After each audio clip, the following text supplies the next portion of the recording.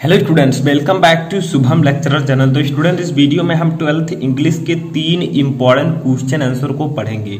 Student ये जो तीन क्वेश्चन है, ये ट्वेल्थ इंग्लिश के शॉर्ट स्टोरी से लिए गए हैं। और तीनों क्वेश्चन आपके तीन अलग अलग चैप्टर से हैं, ठीक है?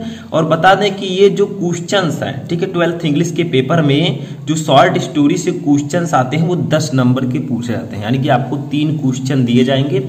आपको दो करना होगा, जिसके लिए आपको दस नंबर मिलेगा। इसलिए ये वीडियो बहुत ही ज़्यादा इंपॉर्टेंट है, क्योंकि 10 नंबर आपका क्लियर हो सकता है। देखिए, ये तीनों क्वेश्चन मैंने तीन अलग अलग चैप्टर से लिए हैं। फ़र्स्ट क्वेश्चन है फ़र्स्ट चैप्टर से, जिसका नाम है the gold watch second question है सेकंड चैप्टर से, जिसका नाम है एन एस्ट्रोलॉजर्स डे और थर्ड क्वेश्चन है थर्ड चैप्टर से, जिसका नाम है द लोस्ट चाइल्ड ठीक है? तो चलिए वीडियो को स्टार्ट करते हैं। मैं आपको हिंदी मीनिंग के साथ स्टेप बाय स्टेप आंसर बताऊँगा। तो वीडियो को लास्ट तक देखते रहें, ठीक है? और साथ साथ मैं आपके लिखते हुए भी चलूँगा। तो फ़र्स्ट क्वेश्चन क्या है? जो कि है द गोल्ड वाच से।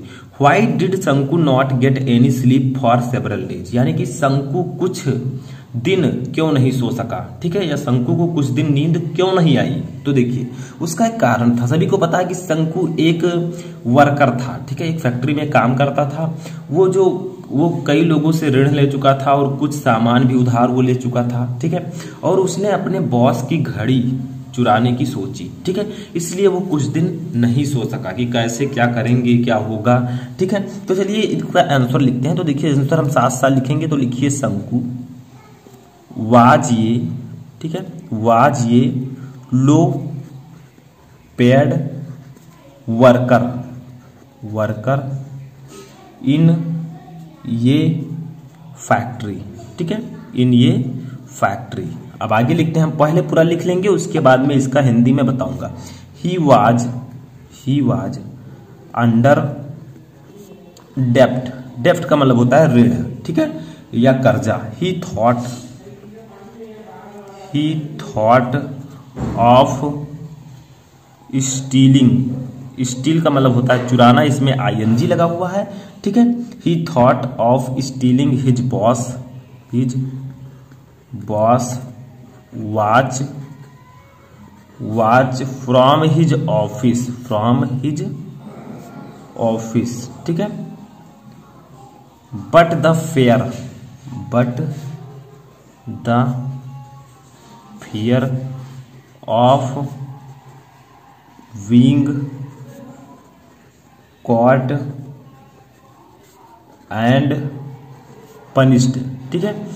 वो अपने बॉस की सोने की घड़ी चुराना चाहता था, लेकिन उसे डर था कि वह पकड़ा जाएगा और दंडित किया जाएगा। अभी मैं हिंदी में बताऊँगा थोड़ा सा और है। So he could not get any sleep any sleep for several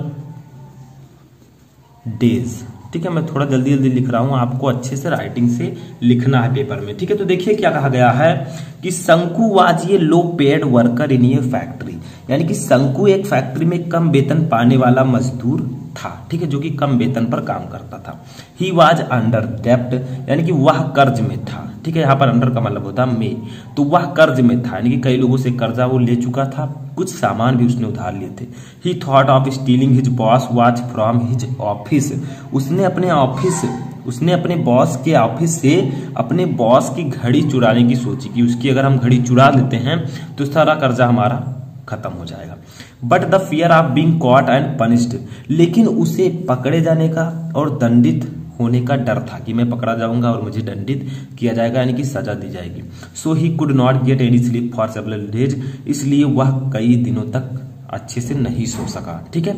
इसी सोच में कि अगर मैं चुराता भी हूँ तो पकड़ा जाऊँगा। इसीलिए उसे नींद नहीं आती। नहीं चुराता हूँ तो मेरा कर्ज नहीं होगा। ठीक है? कर्ज जो है वो हटेगा नहीं। तो यही सब वो सोच रहा था। अब सेकेंड क्वेश्चन हम लोग देखते हैं। तो देखिए हमारा सेकंड क्वेश्चन यहाँ पर आता है, देखिए ये है, ठीक है? सेकंड क्वेश्चन है what made the astrologer feel uncomfortable ठीक है? यानी कि जो एस्ट्रोलॉजर है, ये सेकंड चैप्टर से है एंड एस्ट्रोलॉजर्स डे से, ठीक है? इस चैप्टर से है। तो क्या कहा जा रहा है कि ज्योतिषी, जो ज्योतिषी था, उसने असहज महसूस क्यों किया, ठीक है? What made the astrologer feel uncomfortable यानी कि किस बात ने ज्योतिषी को अनफर्टेबल यानी कि असहज महसूस हुआ, ठीक है? वो क्या था? तो देखिए, उसे असहज महसूस क्यों हुआ? अनकंफर्टेबल वो परेशान क्यों हो गया? क्योंकि वो क्यों परेशान हुआ? मैं पहले बता देता हूँ ज्योतिषी ने असहज महसूस किया जब उसने गुरु नायक को देखा। गुरु नायक कौन था? जिसको उसने चाकू मारकर कुएँ में फेंक दिया था, ठीक है? तो जिसे उसने चाकू मारकर कुएँ में फेंक दिया। तो इसका आंसर आपको किस प्रकार से लिखना है? देखिए, ज्योतिषी जो था, वो सबका भविष्य बताता था। ठीक है? लेकिन उसने क्या किया था? गुरु नायक को मार कर चाकू कुएँ में फेंक दिया था, ठीक है? लेकिन जब उसने गुरु नायक को देखा सामने कुछ दिन बाद तो वो उसने अनकंफर्टेबल फील किया, ठीक है? तो देखिए क्या लिखेंगे हम लोग इसका आंसर तो the astrologer the astrologer felt felt जो है ये फील का सेकेंड फॉर्म है, ठीक है? अनकंफर्टेबल अनकंफर्टेबल ठीक है? When he saw Guru Nayak Guru Nayak whom he stabbed stabbed का मतलब होता है चाकू मार देना, ठीक है? And through and through through का मतलब होता है फेंक देना थ्रो का सेकेंड फॉर्म थ्रू ठीक है? And through into the bell ठीक है तो इसका हिंदी होगा the astrologer felt uncomfortable when he saw Guru Nayak whom he stabbed and through into the bell यानी कि द एस्ट्रोलॉजर फेल्ट अनकंफर्टेबल यानी कि जो ज्योतिषी था, उसने असहज महसूस किया व्हेन जब ही सा उसने देखा गुरु नायक गुरु नायक को हुम जिसे ही स्टैब्ड उसने चाकू मारकर and through into the bell और उसे कुएँ में फेंक दिया था। तो ज्योतिषी ने असहज महसूस किया जब उसने गुरु नायक को देखा, जिसे उसने चाकू मारकर कुएँ में फेंक दिया था, ठीक है? तभी वो अनकंफर्टेबल फील करने लगा कि ये मुझे पकड़ लेगा और मुझे सजा देगा, ठीक है? लेकिन वो उसे पहचान नहीं सका। अगर आपने पूरी चैप्टर पढ़ा होगा तो आपको पता होगा। अब आता है हमारा थर्ड क्वेश्चन जो कि है थर्ड चैप्टर से, ठीक है?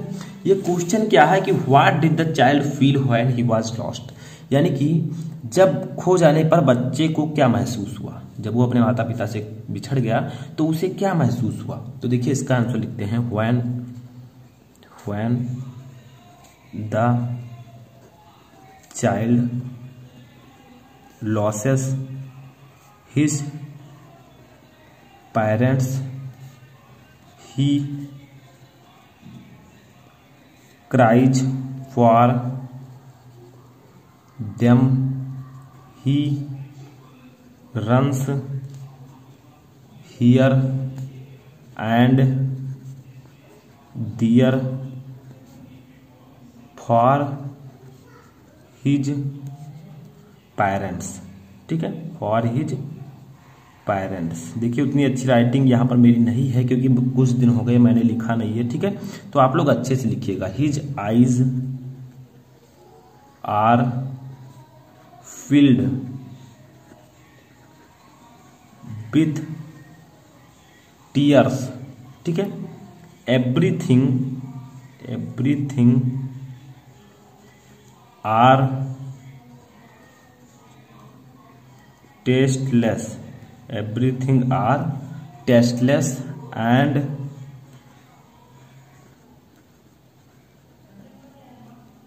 charmless ठीक है? फॉर ये आर है. For him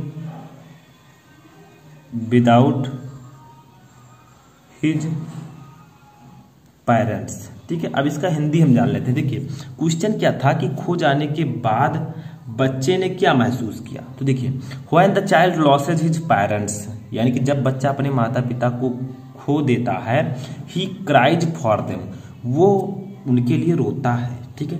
He runs here and there for his parents यानी कि वह अपने माता पिता के लिए यहाँ वहाँ भागता है। His eyes are filled with tears यानी कि उसकी आँखें जो हैं, वो आँसू से भर जाती हैं। ठीक है? उसकी आँखें जो है, वो आँसू से भर गई। Everything are tasteless and charmless for him without his parents यानी कि एवरीथिंग का मतलब हर चीज़ उसके माता पिता के बिना उसके लिए बेस्वाद और हानि रहित थे। यानी कि बिना माता पिता के उस बच्चे के लिए सभी चीज़ें टेस्टलेस का मतलब होता है स्वाद रहित, जिसमें स्वाद ना हो। एंड चार्मलेस यानी कि चार्मलेस का मतलब होता है हानि रहित ठीक है? For him without his parents. यानी कि क्या कहा गया था? खो जाने के बाद बच्चे ने क्या फील किया?